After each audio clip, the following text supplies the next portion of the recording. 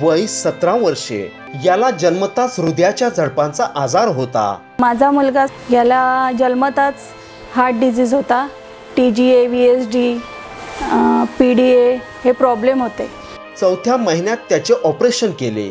इकोच्या रिपोर्टनुसार त्याला T G A V S D A S D आणि पी डी ए असे प्रॉब्लेम होते. वयाच्या चौथ्या महिन्यात त्याची सर्जरी करण्यात आली. पण तरीसुद्धा त्याला त्रास हा होताच. त्याला चालताना दम लागायचा. सहाव्या महिन्यात त्याला न्यूरोथोरॅक्स हा आजार झाला होता. त्यावेळेस त्याला व्हेंटिलेटरवर ठेवावे लागले होते. त्यावेळेस एक महिना त्याला आय सी यूमध्ये ॲडमिट करावे लागले होते. त्याला पुन्हा त्रास व्हायला लागला. हार्टचं पंपिंग त्याचं काम करणं असं झालं. असं डॉक्टरांचं मत होतं. इकोमध्ये खूप खराब इकोचा रिपोर्ट यायचा.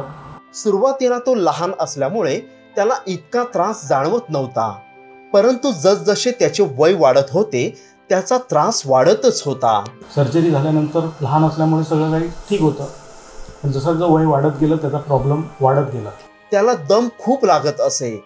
इतर सामान्य मुलांप्रमाणे तो खेळू शकत नव्हता. तपासणीनुसार त्याचे हृदय व्यवस्थितरित्या काम करत नव्हते. त्यानंतर त्यांनी इको टेस्ट घेतली तेव्हा कळलं की याला हार्ट डिसीज आहे. हार्ट डिसीजमध्ये हृदयाचा एक कप्पा खूप मोठा आहे. त्याच्या हृदयाच्या वॉलमध्ये अडथळे येत असत. यामुळे त्याचे इतर लहान मुलांप्रमाणे शाळेला पाठविणे खेळायला पाठवणे त्याच्या पालकांना शक्य होत नव्हते.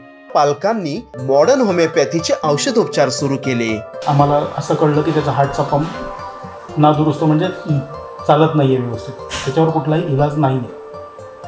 अशा परिस्थितीत आम्ही डॉक्टर मानेनं भेटलो. मानेने आम्हाला सांगितलं की पूर्ण बरा होईल. चिंता करू नका. औषधोपचार सुरू केल्यानंतर अगदी पहिल्या महिन्यापासूनच त्याला फरक पडू लागला. त्याला दम लागणे कमी झाले. तो इतर सामान्य मुलांप्रमाणे खेळू शकतो कॉलेजला जाऊ शकतो.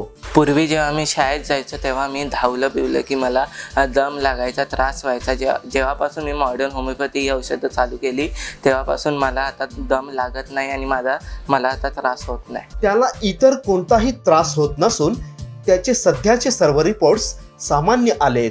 ते जसं जसं आम्ही औषधं चालू केली तसं तसं त्याचा रिपोर्ट चांगला येत गेला आज त्याचा रिपोर्ट खूप चांगला आहे आणि तो बऱ्यापैकी त्याचं आयुष्य जगतो.